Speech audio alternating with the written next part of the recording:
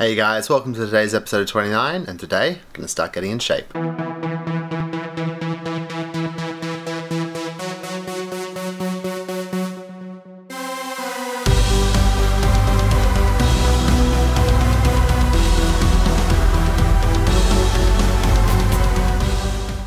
So I've sometimes been in shape, but right now is not one of those times.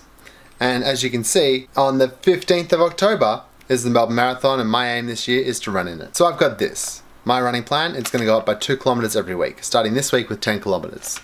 So that's just 10 kilometers all up. It might be like three days of three and a bit kilometers each, or it might be two days of five kilometers. But I'm going to start off today with probably a 3k run, so I'm going to go do that.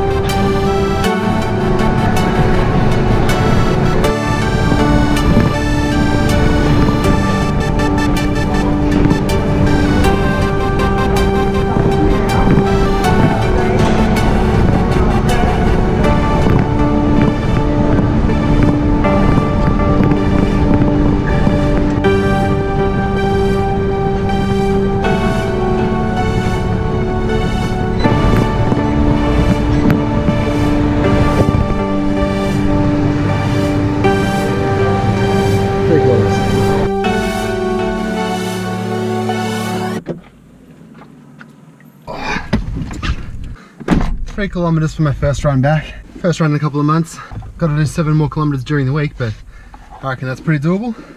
So six more months, hopefully I'll be running a marathon. Make sure you like, subscribe, comment what else you want me to do. I uh, didn't do a video on Friday because I was doing something on the weekend which I was really looking forward to but didn't happen. Hopefully a video about that coming up in the next couple of weeks maybe. I'm gonna go home and shower. See you guys.